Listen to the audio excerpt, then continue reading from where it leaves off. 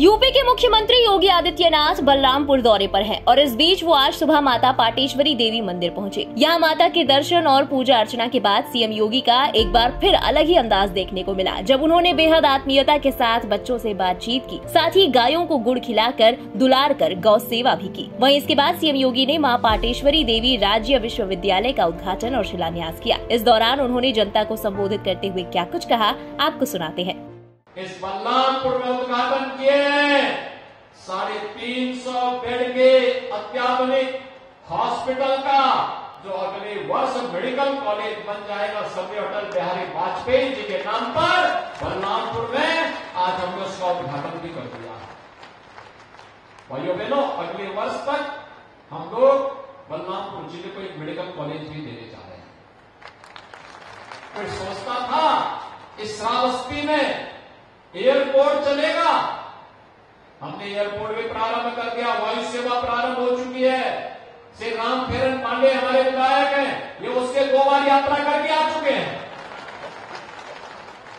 देखो ना, लगते सीधे हैं, लेकिन हवाई जहाज़ की यात्रा। श्रावस्ती से सीधे बैठ करके पकड़ो लेकिन वे अकेले नहीं गए, कार्यकर्ताओं को लेकर के गए।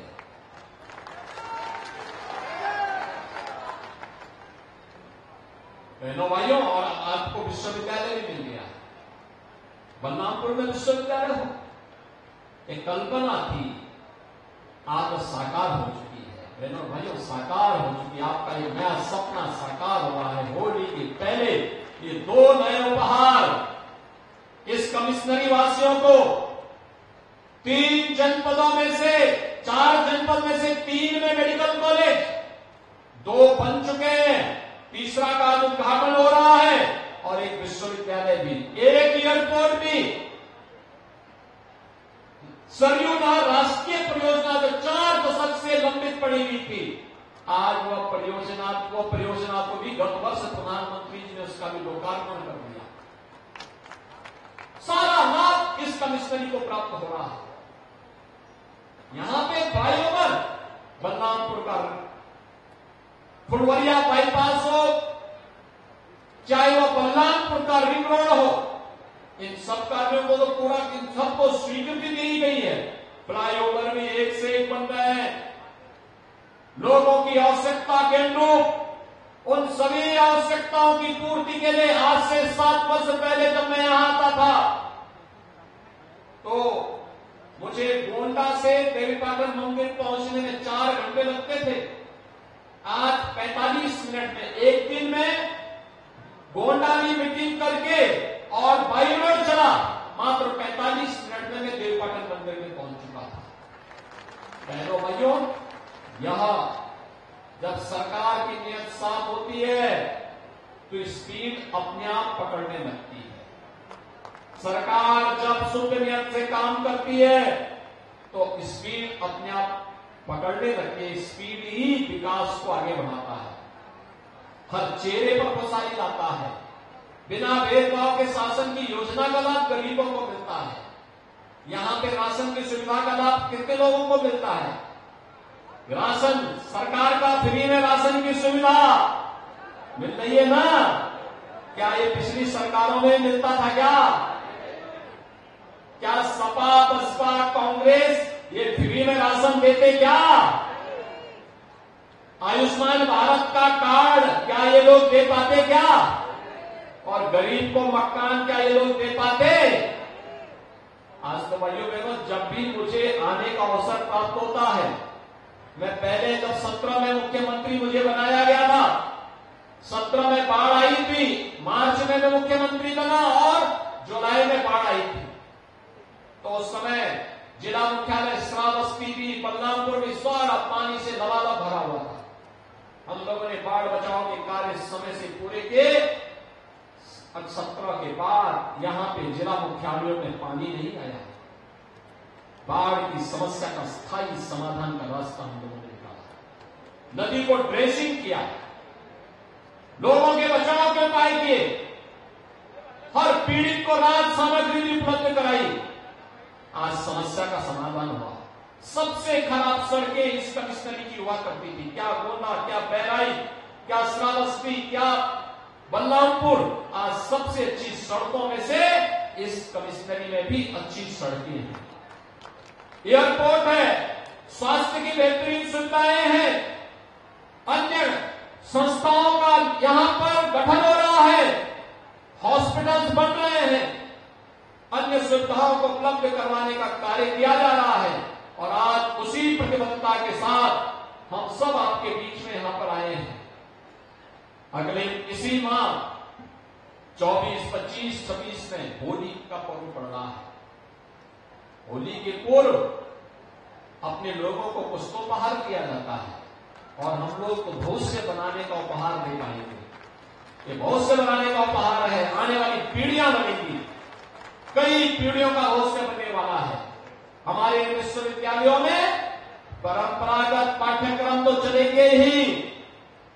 रोज़गार परक पाठ्यक्रम भी हम देंगे। तीन महीने, छह महीने, एक साल के पाठ्यक्रम होंगे, जहाँ पर कोई व्यक्ति तत्काल स्किल डेवलपमेंट के साथ जुड़ेगा और रोज़गार प्राप्त करेगा। और बच्चों को तकनीकी से सक्षम बनाने के लिए भी कार्यक्रम होंगे यहाँ पर प्रतियोगी परीक्षाओं की तैयारी के लिए भी अभ्युदय कोचिंग हर विश्वविद्यालय में प्रारंभ करवाया जाएगा। हमारा बलरामपुर श्रावस्ती गोंडा और बहराइच का छात्र भी प्रतियोगी परीक्षाओं के माध्यम से उच्च शिक्षा के नए नए सोपान स्थापित करेगा और जीवन के प्रत्येक क्षेत्र में आगे बढ़ करके वह भी इस जनपद के विकास में अपना योगदान दे पाएगा। ये सभी विकास की प्रक्रिया को जोड़ने के लिए कार्यक्रम। और बहनों भाइयों यही प्रधानमंत्री मोदी जी चाहते हैं, विकास। अब दिल्ली के लिए ही नहीं, यहाँ के गाँव के लिए भी होगा। एक गाँव से निकला हुआ विकास हमारा गाँव जब आत्मनिर्भर होगा, हमारा नगर निकाय, नगर पंचायत, नगर पालिका जब आत्मनिर्भर होगी तो आत्मनिर्भरता विकास की नई ऊंचाइयों तक हमें पहुँचाने में योगदान देगा और आज उसी का परिणाम है आज आप देख रहे होंगे सरकार बदलती आपके वोट की कीमत क्या होती है कि वोट की कीमत है बहनों भाइयों एक वोट की कीमत बेटी की सुरक्षा भी कर देता है और व्यापारी की सुरक्षा भी करा देता है एक वोट नया उद्योग लगाने में भी सहायक होता है और नौजवान की आजीविका का भी माध्यम बनता है एक वोट आपकी आस्था को भी सम्मान देता है अयोध्या में रामलीला को भी विराजमान कर देता है यही है वोट की कीमत और नहीं तो बेटी भी पिछली सरकारों में सुरक्षित नहीं थी व्यापारी भी सुरक्षित नहीं था गरीबों के हक पर डकैती पड़ती थी विकास की योजनाएँ माफिया छट कर जाते थे। आस्था के नाम पर खिलवाड़ होता था और राम का नाम लो तो लाठी और गोली चल जाती थी। आज तो ऐसा नहीं हो सकता है। आज तो पूरी दुनिया अयोध्या आ रही है। आपने देखा होगा, एक सप्ताह पहले जो आंकड़े आए थे, अकेले अयोध्या में, अकेले अयोध्या में 22 जनवरी से लेकर के 10 मार्च के बीच एक करोड़ श्रद्धालुओं ने अयोध्या में रामलला का दर्शन किया है। पूरे देश से लोग आए थे दर्शन करने के लिए। आप सोचो, पहले लोग क्या बोलते थे कि अयोध्या में परिता भी पर नहीं मार सकता। और अब एक करोड़ लोग मात्र डेढ़ महीने में वहाँ दर्शन करके चले गए। अभी भी कल भी मैं अयोध्या था। डेढ़ लाख लोग प्रतिदिन वहाँ आ रहे हैं। डेढ़ से दो लाख श्रद्धालु प्रतिदिन आ रहे हैं। एक नव्य अयोध्या के दर्शन हो रहे हैं। ऐसे ही नव्य अयोध्या के साथ हमें बन्नापुर को जोड़ना है, श्रावस्ती को जोड़ना है। श्रावस्ती तो भगवान राम के पुत्र के नाम पर बने हैं। भगवान राम के पुत्र महाराज लव ने श्रावस्ती बसाई। बाद में महात्मा बुद्ध से इसका संबंध जुड़ा। जैन तीर्थंकरों के साथ संबंध जुड़ा। महाराज स्वयं के साथ संबंध जुड़ा। ये परंपरा आगे बढ़ती गई। और आज एक बार फिर से, अब आकांक्षात्मक जनपदों से बलराम पुरस्कार उभरेंगे, विकास की नई बुलंदियों को छू करके आगे बढ़ेंगे। इस विश्वास के साथ आज लगभग दो हज़ार करोड़ रुपये की परियोजनाओं के लिए मैं बलरामपुर और श्रावस्ती वासियों को हृदय से बधाई देता हूँ। होली के पहले आपको बाहर है। और बहनों, भाइयों, ये उपहार हम इसे दे पा रहे हैं आप नेतृत्व मोदी जी के नेतृत्व में प्राप्त हुआ है, मोदी जी ने देश की तकदीर को बदल करके रख दिया है। बिगड़ी हुई तस्वीर को दुनिया के सामने सिरमौर के रूप में स्थापित कर दिया है। आज एक नए भारत का हम दर्शन कर पा रहे हैं और इस नए भारत के नए उत्तर प्रदेश में, जब पूरे देश से एक आवाज़ उठ रही है एक ही आवाज़ है 2024 के लिए मोदी जी ने दस वर्ष के कार्यकाल में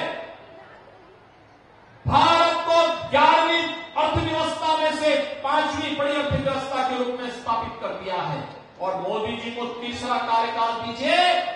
अगले तीन वर्ष के अंदर, तीसरा कार्यकाल तीन वर्ष के अंदर मोदी जी भारत को दुनिया की तीसरी बड़ी अर्थव्यवस्था के रूप में स्थापित करने वाले ब्यूरो रिपोर्ट, इंडिया पब्लिक खबर। इसी के साथ इस खबर में बस इतना ही। देश और दुनिया की बाकी खबरों के लिए सब्सक्राइब करें इंडिया पब्लिक खबर की यूट्यूब चैनल को और बेल आइकन दबाना बिल्कुल ना भूलें।